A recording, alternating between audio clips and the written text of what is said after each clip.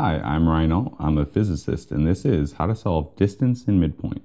So the first thing you want to do is draw your coordinate system.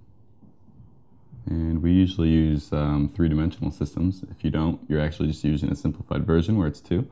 So you have uh, an x, uh, you can call the upward one y if you want, and z, you can call them whatever you want. And you have to identify your points. Now let's say we have a point somewhere here and another one over here. You can identify these points with coordinates.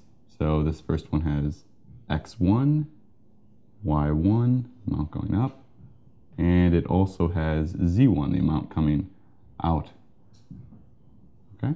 And now the second point, of course, has x2, y2, and z2. If we want to find the distance between these points, we can use the equation distance is equal to the square root. Now for uh, ease of calculation, I'm going to drop that third dimension. Let's say z2 equals z1. Okay, so we don't need that one anymore.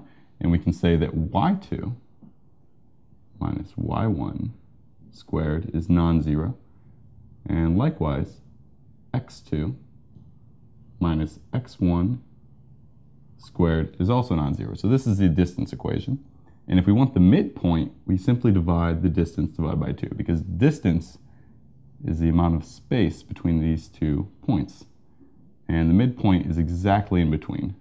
So we can find that m, midpoint, is equal to d over 2. I'm Ryan Ault, and this is How to Solve Distance and Midpoint.